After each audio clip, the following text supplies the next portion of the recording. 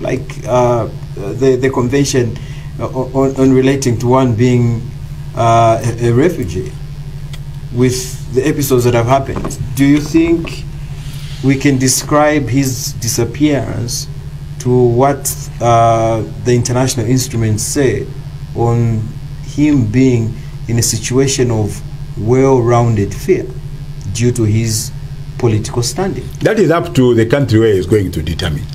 Because the issue of asylum is determined by the country where you want to seek refuge. Okay? But let me, uh, but let me, uh, let me say this, uh, Alexander. Sure. You know, we joke a lot in this country. We joke a lot. And I think it's high time we got serious if we are going to move this country forward. Okay? There was, there was the, I'm on the platform, you know, uh, with Laz. There's a Laz platform. And somebody posted that the, uh, the lawyers, Laz must make a statement uh, to the effect that J.J. Banda is a political prisoner.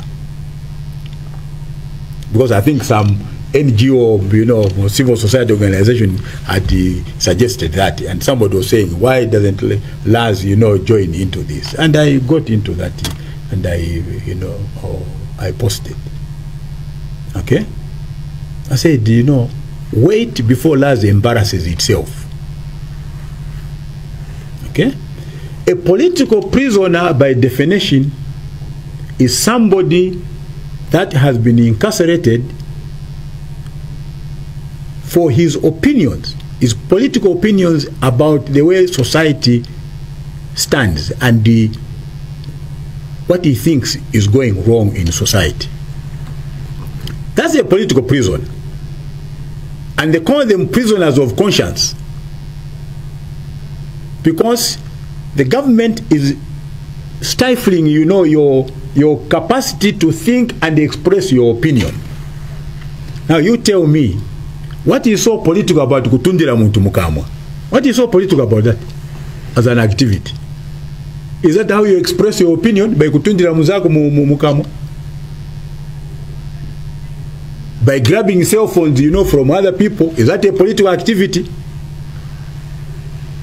What is wrong with my country? You know?